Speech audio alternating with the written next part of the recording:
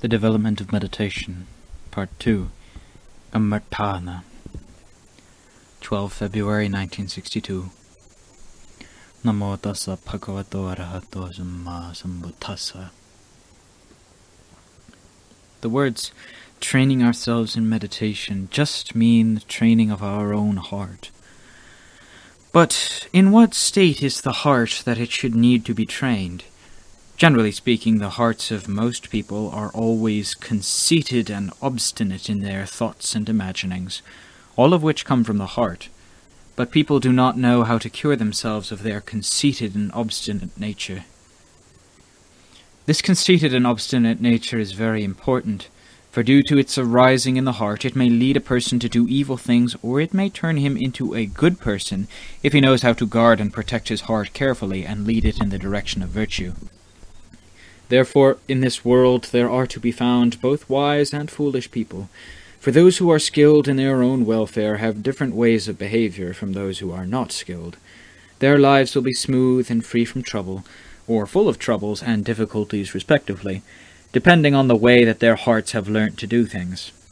This is very important, because of which the Lord said, Asavana jabala nang bandita nanjasavana, which means, Beware of fools, do not associate with fools. One should try to associate only with those who are wise and learned. Fools may be found both externally and internally. The nature of external fools has been partly covered already in the first of these two talks. But internal fools refers to one's own heart, which, if it is foolish, will lead one into bad ways all the time. If thoughts arise in such a way as to lead one into suffering and trouble, and to bring suffering and trouble to others, such thoughts may be called foolish thoughts arising from the sphere of the heart. The purpose of training and disciplining one's heart so that it gradually becomes freed from conceit and obstinacy is to change oneself into a truly clever person. It is, however, important to realize that in furthering the development of one's citta to make it smooth and even, it must be put into training. When one's heart has received sufficient training, one will continue to practice what one has learnt, and one's work and life in the world will generally proceed well. If, however, one renounces the world and practices a higher level of sila dhamma, moral behavior, one's life will be smooth and harmonious in a similar way. These are some of the reasons why the training of the heart is most important. Whether one is foolish or wise, both states arise only within the one citta, and not separately in different places, so that, as far as we are concerned here, training in kammatthana is for the purpose of training one's own heart in the right way, and in this context, the right way means that the thoughts in the mind which flow out into bodily actions and speech shall be for correct purposes.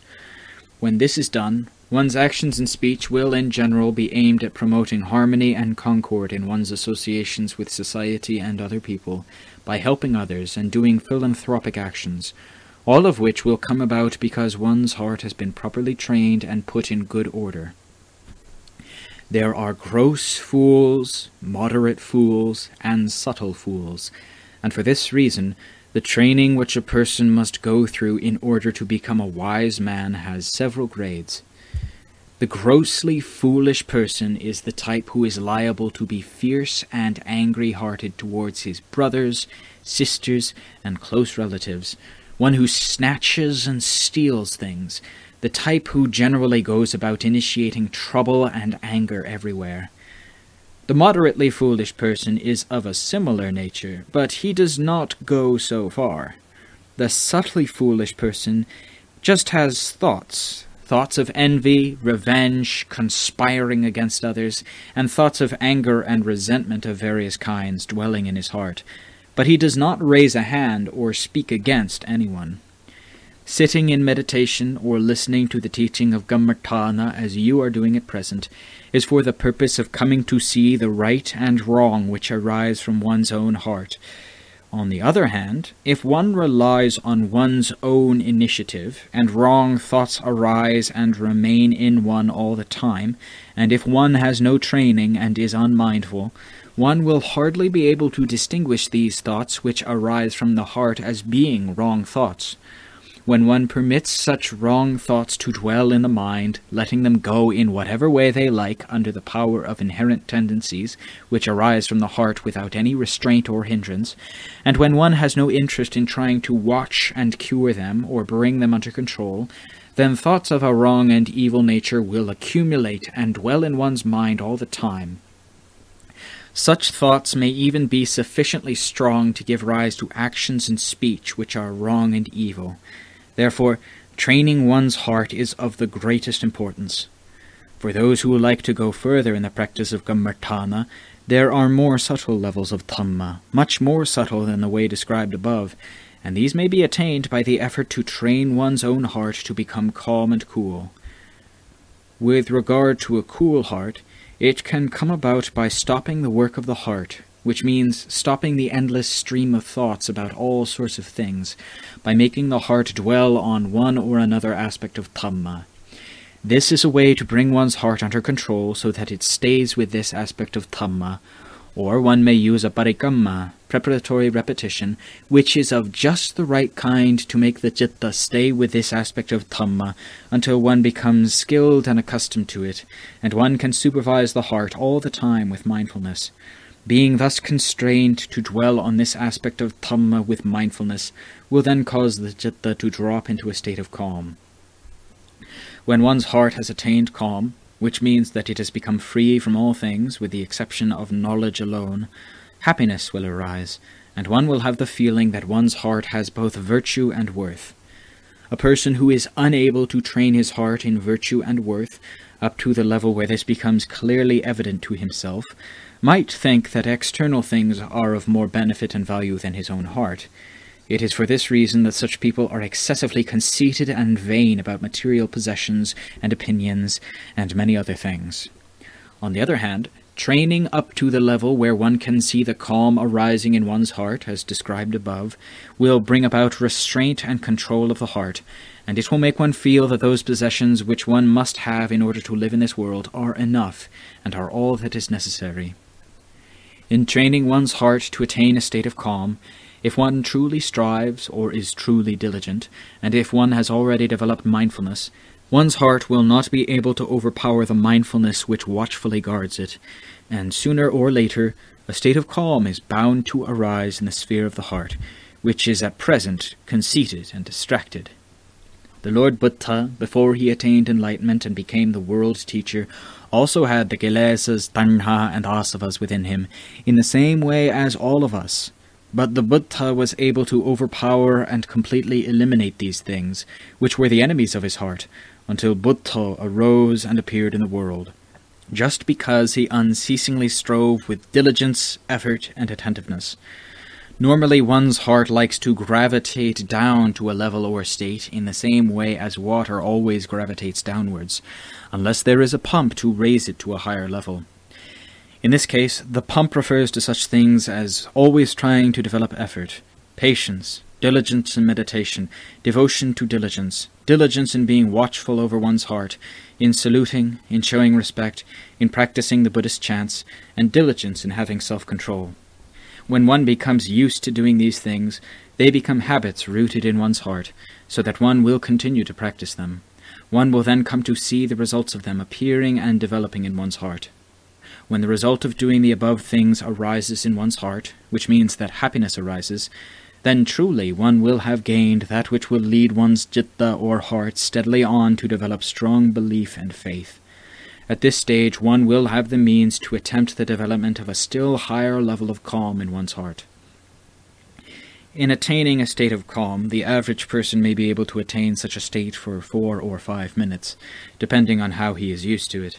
But one who is really accustomed to the practice of samadhi and bhavana can dwell in this state for several hours.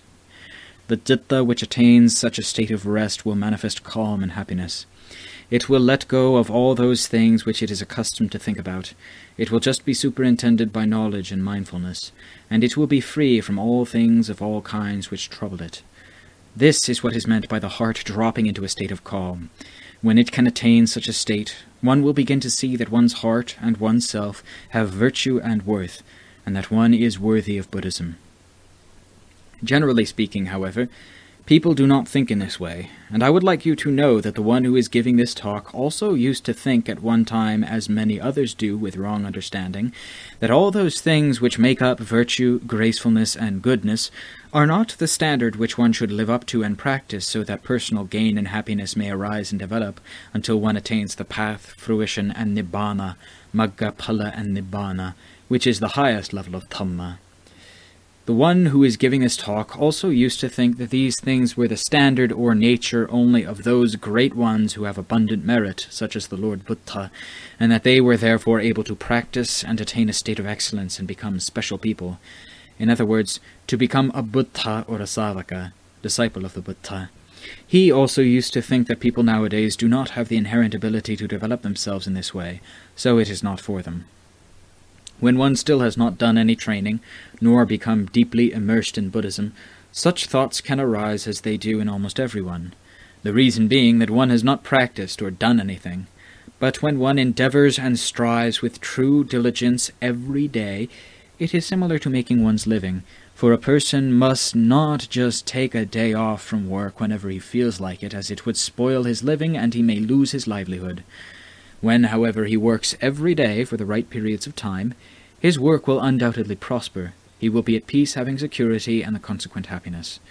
In a similar way, when one endeavors and strives to develop one's heart until one is able to work at it every day, or eventually in every posture, i.e., walking, standing, sitting, and lying down, one may be sure that one will attain the taste of the good Dhamma, Saddhamma.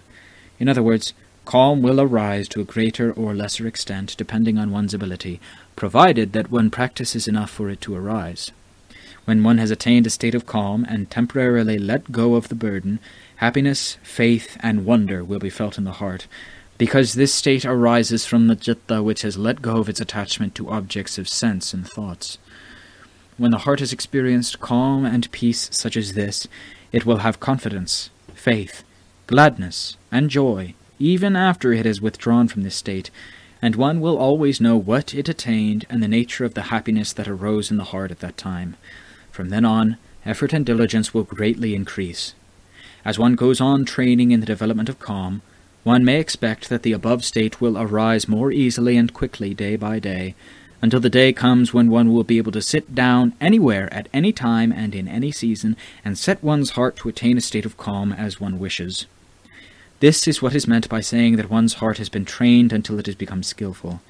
Then, wherever one is, happiness will always arise from one's heart, and wherever one lives or goes, one will find that one has value and virtue and is worthy of Buddhism. One will be a precious vessel that is able to receive and retain the good Dhamma and the whole of the teaching of the Lord Buddha. In training the heart to attain a state of calm and coolness such as this, one may then ask, if I should die now, what world or state will I attain? There will, however, be no need to think about what would happen if one should die, for at the time that one attains such a state of calm, one will still be in the present, living on this earth as all other people do, but there will be a state of happiness in one's heart which will be sufficient assurance of one's future state if one should chance to die at that time. One will still go on living in a house or going about here and there as other people do in the world, but this state of happiness will make one feel that there is something wonderful within one's heart, which has come about by training it to attain a state of calm. Having attained a state of calm and coolness of heart, one will then have the potential or opportunity to examine, investigate, and see the true nature of sabhava generally, which means the nature of things which exist. The Lord said that sabhava is one's surrounding environment, and this may be divided into two categories as follows for one who is foolish, stupid, weak in wisdom, and strong in the ways of evil, all things become things which augment his evil ways. For one who is firmly established in the ways of sila dhamma, moral behavior, as for instance one who has gone a long way in the development of calm, all things become devices which teach the heart, so that it finds a way to develop and strengthen its calm from the things which make contact with it. At the same time, one may investigate and meditate by way of Dhamma upon the things which make contact with one in one's surrounding environment, so that one can derive benefit from them, as and when they come into contact with one. Furthermore, it should be understood by those who practice meditation that the word calm is a word with a broad and general meaning, whereas the word samadhi means that at the moment when the citta becomes concentrated together, it goes down and becomes firmly established. After the citta has arisen and withdrawn from this state, the calm and coolness of heart which have been induced do not leave the heart together with samadhi, but remain there, even if one then thinks about things, using creative thought and imagination, or using one's mind to plan and think out things in connection with one's work. One may do all these things as one wishes, but they will not make one's heart turbulent or distracted, nor will it become attached or depressed in thinking about these things. This is what is meant when they say that calm is one's constant companion at all times. Thus, samadhi means fixing the heart firmly and unwaveringly at the moment when the citta becomes concentrated and drops down. Or, it means firmly and unwaveringly fixing the heart so that sense objects, aramana, do not lead it into a state of agitation and turbulence, even if one then uses imaginative thinking. This is the nature of what, in Buddhism, is called samadhi. When samadhi has been developed as far as this, one will have the faculty to investigate the true nature of those things which are within oneself. One may contemplate dukkha, suffering, and there is no need to go elsewhere to look for it, for one can see it in oneself, for there is here a mass of suffering that one tries to relieve and ward off all the time. One may contemplate by way of the parts or the functions of the body, all of which are aspects of suffering. But one may contemplate these parts of the body within oneself in whichever way one finds suitable, by way of dukkha, as above, or by way of anicca, impermanence, in which case one will come to see clearly that they are always impermanent. Even those faculties which make up the nature of the heart in its functions of inventing, imagining, and thinking are also impermanent and unstable. For however strongly imagination and ideas may arise, they die away to the same extent as they arose. In other words, their arising may be great or small accordingly, but when they die away, their cessation will be exactly equal to their arising. This is when wisdom, panya, begins to get to work. If, however, one contemplates these parts of the body by way of anatta, one sees that when one has departed from this existence, attabhava, these parts are called a corpse, and can one then take any of the parts of this body along with one? One cannot take even a single hair, for it must be thrown away and dispersed in this world. As for the elements, the dhatu, when after death the body breaks up, the earth element becomes earth, and similarly the water, fire, and air elements return to their own natural state, all of which contradicts the view that there are such entities as animals, people, women, and men. After contemplating and seeing clearly with wisdom in the above manner, one will come to understand that what is external and what is internal are both of the same nature, so that contemplating external things will reveal the same as internal contemplation. In other words, the true nature, sabhava, is the same both externally and internally, which means that they are both anicca, dukkha, and anatta in the same way. This is what is meant by practicing contemplation and using wisdom. When wisdom, panya, has developed enough to enable one to meditate in the above manner, then samadhi, which means firmness, stability, or calmness of heart, will become very strong. One will then come to great happiness, and will clearly come to see the danger and dread in the parts which are to be found throughout this bodily form. One will see that it is a mass of suffering or a mass of fire which always needs to be cared for and cured, or else one will see it as a thing which causes constant anxiety and worry. In this way, one will come to see the burden of it all. One will also come to see what really is the true nature, sabhava, of all those things which are around and about one. At first, when one sees the true nature of all the above things, one is sure to criticize them, although generally speaking, these are the things which most people love. When, however, one has contemplated and seen the true nature of them quite clearly with wisdom, attachment and grasping die away from one's perceptions, and one just has a clear understanding of them. But until one has understood clearly, one will, generally speaking, tend to grasp at things, to be doubtful, and to retain one's attachment. When wisdom has untangled and examined the true nature of the above things, seeing them absolutely clearly as they truly are, grasping and attachment will steadily shrink and withdraw, leading to a state of calm. This is when wisdom begins to get to work with skill. When one has dwelt in contemplation in the above way, what can there be to make one's heart tainted or corrupted? It will be energetic, very strong, and careful in guarding and watching oneself. Mindfulness will be strong, wisdom will surround one, and diligence will be present at all times. In seeing the danger and dread of the world, one will see much. In seeing the virtue of going beyond all suffering and torment and attaining freedom from it, one will see much. Everything which has been said above is concerned with the true nature, sabhava, of the way of material things which have been associated with one's citta for a long time. For so long, in fact, that one is unable to perceive what things are dangerous to the citta, and this is so because it has been mixed up with and has followed the common way of thinking and understanding in the world. The Dhamma, however, is not to be seen with the eyes of the flesh, but is to be known with the heart, in other words, with Vedana, feeling, Sanya, memory, Sankhara, thought, and Vijnana, awareness, each of these four being called a khandha. The Lord Buddha then taught that Desangvopasmosukho, the waning and complete extinction of these sankharas is happiness, and this greatest happiness does not die away and depart from one. Rupa Khandha, the body group, is one form of sankhara, and in a similar way, Vedana, Sanya, Sankhara, and Vijnana Khandha are each respectively forms of Sankhara which are referred to in the above quotation. When one has contemplated and examined all these Sankhara Dhammas quite clearly with wisdom, in the way described above, one will be able to know all Rupa Dhammas, form objects, with insight, not only one's own bodily form, but also external forms, both far and near, tall or short, large or small, and valuable or worthless, as thought by people in the world. One will be able to know all these things as they are with insight, and to let go and be free from them all. This is what the Lord called the ability to let go of this one kind of sankhara dhamma. The most important types of sankhara dhammas are, however, those which arise within one's own heart, such as imagination and thinking.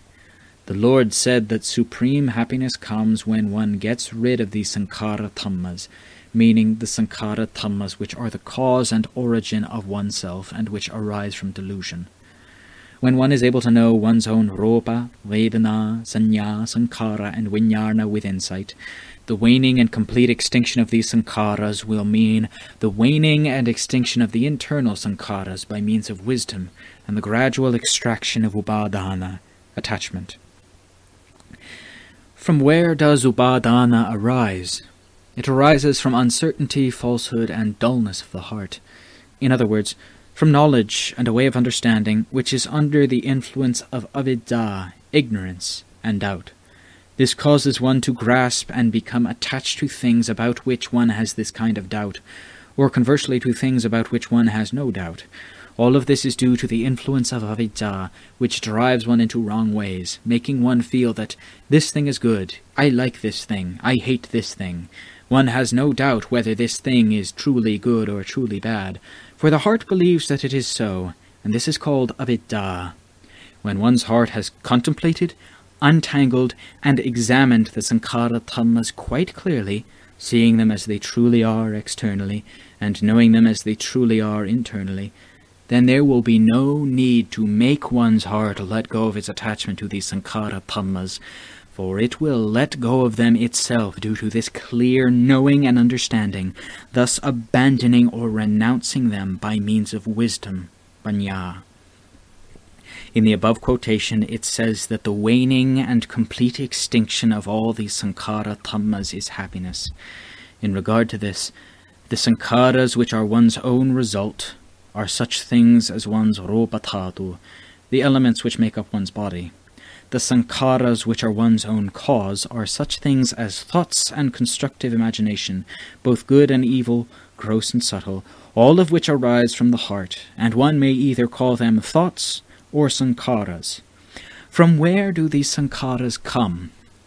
They come from the dictates of avidya. When one investigates with subtle wisdom, searching until one penetrates to the basic origin of avidya, the place where it has established itself, what is it that one finds? having penetrated to the basic origin of avidya, which is the same thing as the subtle kilesas by means of subtle wisdom, the state at that moment will be like a battle going on underground. In other words, if one still thinks that avidya and oneself are separate from one another, then avidya and oneself are sure to be constant enemies, and it is impossible to know which will win and which will lose. This is because avidya is the same thing as delusion, and it is oneself that is deluded, and the one who fights the avidya is also oneself. For if one has the wrong view that avidya is separate from one's heart, or that one's heart is separate from avidya, then avidya and oneself are sure to be constant enemies. When one's contemplation has reached this level and understood the above, the whole of avidya will be revealed by one's wisdom, and one will see that in fact, apart from within oneself, there is no avidya. It is just the whole of oneself that is deluded. When the meaning of this has been seen quite clearly, avidya disappears, and one becomes one who knows. Delusion is oneself as one is now. When one becomes one who knows, due to the power of wisdom, that will be oneself as one is then. Apart from oneself being deluded, delusion cannot be found elsewhere in the world. Apart from oneself coming to know, knowledge cannot be found elsewhere in the world. The result of one's investigation, penetrating and getting in amongst oneself and avidya, is that as soon as the avidya dispersed, the truth is revealed that avidya is not to be found outside oneself. As soon as one knows that it is oneself that is at fault, virtue appears and develops. As soon as one knows that it is oneself that is deluded, the one who knows appears and develops in the heart. Then one will come to the end of all questions and doubts with regard to such things as Who am I? What is avidya, and what is vidya? For they are all oneself alone. Truly, then, one will be able to say that this is the waning and extinction of the sankharas, which accords with the Dhamma aphorism, Dayasangvopasamo Furthermore, with regard to the cessation of those sankharas which exist by virtue of avidya, when the sphere of avidya has dropped away and disappeared, sankharas may still arise and be active as they did with the Lord Buddha after he had attained enlightenment, for he certainly used the five khandhas to establish Buddhism. Throughout his life he had to have rupa, which was his physical body, also sankhara khandha, memory, and the rest, all of which are known as the five khandhas. This was so until the day that he was finished with them, and he entered parinibbana. But these five khandhas of the Lord Buddha had become mere khandhas. They had become just the door of the citta, without the arising of any kilesas, tanha, or avidya whatsoever. This was so because avidya had been completely destroyed by the power of wisdom, and the five khandhas had become mere khandhas, in which the kilesas and tanha would never again arise and appear. Therefore it was said that the extinction of those sankharas, which make up the kilesas, tanha, and avidya, is the highest and greatest happiness. At this stage, when one spreads one's attention to the external sankharas, all of which are rupa, which may be large or small, broad or narrow, or however else they may be, and which also include sound, smell, taste, and things which contact the body, each of them appears as a normal sabhava, thing in its own nature. If one then turns one's attention to oneself, one's rupa, vedana, sanya, sankhara, and vijnana also appear to oneself just as the respective sabhava. None of these things appear as good or evil, nor in association with the kilesas, tanha, or mana, conceit, whatsoever, because the power of wisdom knows them as they are with insight.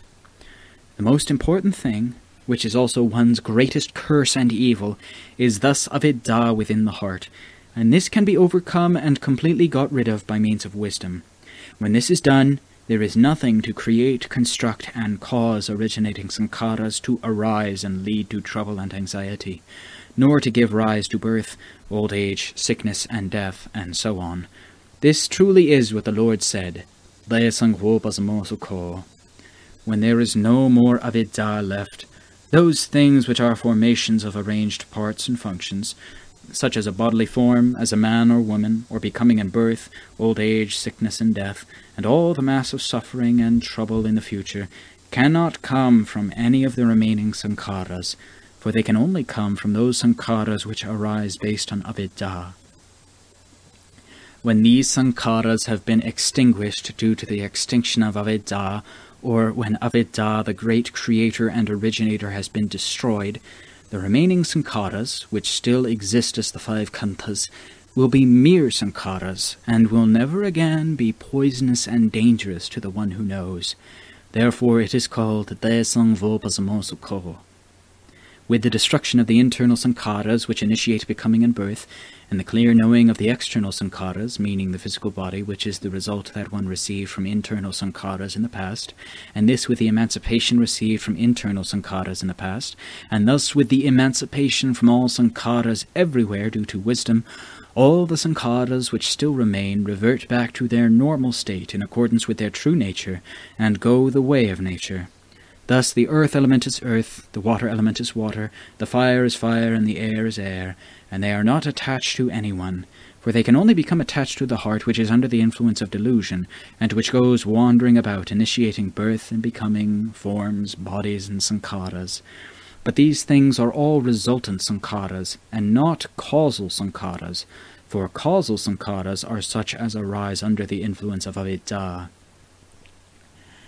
When avidya has come to an end, the control over the sankharas is a mere control, just sufficient to expediently regulate life from day to day, and when the end of life has been reached, they break up and disperse in accordance with their own nature.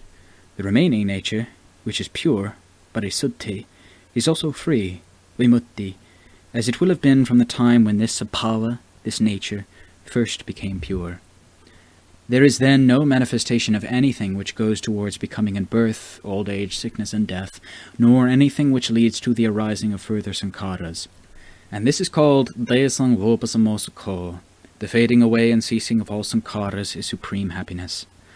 The purpose of training one's heart is to get free from hindrances, obstacles, and all suffering and torment, so that one may gradually come to harmony and ease in one's existence. If one is unable to reach the path and fruition, Maggaphala, which is the highest state, all the virtue which one develops here and now in this life will become a habit condition which will lead to becoming in birth that will be good and suitable for one's aspiration in the future. There are many different forms of birth, and if one has not developed virtue, one may be born in a situation which is both bad and unsuitable, and as far away from one's aspiration as the sky is from the earth. One should think carefully about this. At such time as the present, while we are all sitting here, one may look and see with one's own eyes that there are people of upper, middle, and lower class, the rich and poor, the foolish and clever. This is the way things are, and is there anyone who can alter us and turn us into the person that we would like to be? Not so, for these conditions arise due to the kamma which we have formed in the past. Therefore, one should constantly accumulate good kamma in order to attain what one genuinely wants in the future. The influence of this kamma is a thing of the greatest importance, for one has the right to make kamma, but kamma has the right to bring results back to one. When the results of kamma come to fruition, if the kamma is good, the results which one receives will be good, such as having plenty, being clever, having the influence of one's good habit tendencies, and having power and virtue of a different nature from that of other people who have also had a human birth. If, on the other hand, the kamma is bad, the results which one receives will be bad. One's physical body may be deformed, one may be poor and needy, and generally speaking, Wherever one is born in this world, suffering will arise, flow in, accumulate, and remain there, in oneself alone, as in a cesspit all the urine and feces flow in, accumulate, and remain there. Kamma is thus like Brahma Likhit, which is said to wait always, to give us all our rewards according to our deeds, both to those whose Kamma is good and to those whose Kamma is bad. Therefore, one must try to train one's heart so that one will become a person who has the power of good habit tendencies in his heart. One should not, however, aspire to have the power of good habit tendencies for the purpose of commanding and controlling others, but only for commanding and controlling one's own body, speech, and heart, to make them do things which are virtuous, graceful, and good or else for the purpose of doing things to benefit the world and Dhamma as one may wish. For this is far better than with those people who have no interest and never do anything in the way of Dhamma. When one has the power of good habit tendencies very strongly developed, then one can attain Tesam vupasamo which the Lord Buddha did not keep to himself, for he laid down the Dhamma as an inheritance for us, so that we could follow the way that he went, and so that it should promote the strength of our own good habit tendencies until we can reach the ultimate point, which is Magga, Phala, and Nibbana, the path, fruition, and Nibbana. These three can then become the qualities of each one of us who attains this state, and then we will be radiant with the power of our own virtue and goodness. Therefore, apart from one's aspirations to attain freedom and Nibbana, the most important thing is the training of one's heart.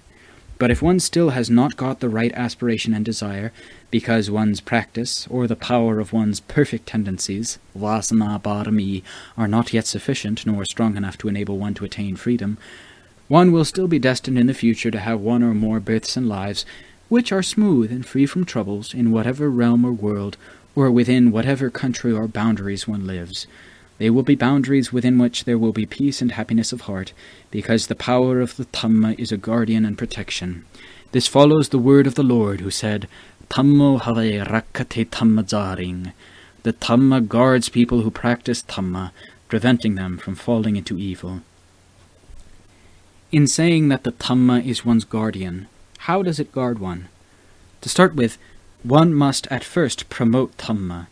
To give an example, this Mahamakut Educational Council building, in which we are at present sitting and listening to this Dhamma Desana, did not come into being automatically on its own, nor by way of nature, but it arose due to the people who planned it and built it, and due to all those people who had virtue and merit in their hearts, so that when faith arose collectively in them all, they started to plan and build.